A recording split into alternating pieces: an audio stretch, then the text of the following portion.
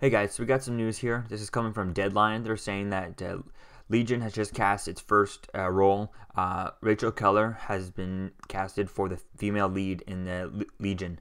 This is definitely interesting. They don't talk about uh, who which character she is. She's just some 20 year old uh, optimistic, scrappy woman. Um, not many, no, not many talk about her uh, powers. Uh, they do just mention that something connected to Human Torch, so maybe something like Sunspot, or maybe someone connected to him, uh, or some sort of uh, some sort of character, some sort of uh, rogue or uh, Spyke character. So it definitely could be interesting to see who they go with.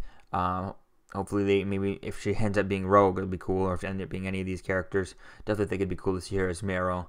Uh, but definitely can't wait to see who they pick for this. And since they own the, you know, the Phant- the Human Torch, they could do since Fox owns Human Torch and the rights for that, I think they could do it that way.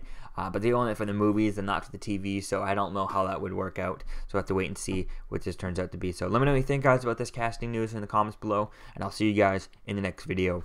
Peace.